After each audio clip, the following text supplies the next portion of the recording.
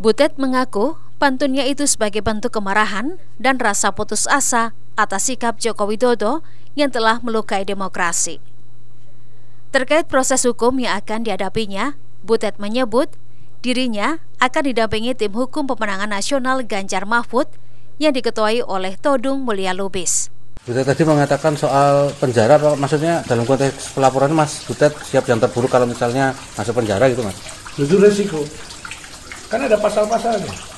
Makanya yang kita uji di sini menggunakan pasal apa.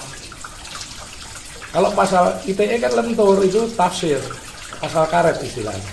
Tapi soal itu nanti biarlah lawyer, kuasa hukum saya jelas, abang kita Todung Mulia Lubis, dia siap mendampingi saya.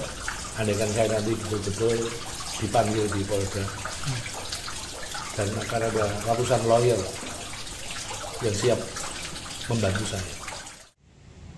Budayawan Butet Kartarjasa dilaporkan ke Kepolisian Daerah Istimewa Yogyakarta oleh tiga kelompok relawan Jokowi.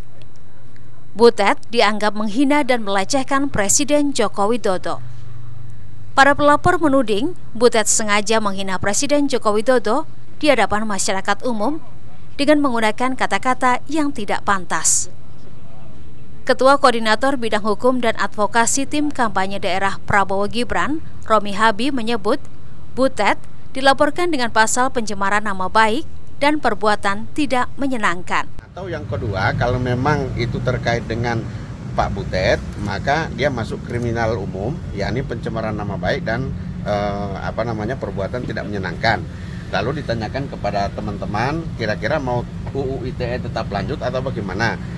Oleh karena undang-undang ITE yang dijerat adalah uh, pihak lain yang menyebarkan, maka teman-teman relawan meminta agar supaya kriminal umum yang diajukan dalam hal ini perbuatan tidak menyenangkan dan uh, pencemaran nama baik. Jadi seperti itu.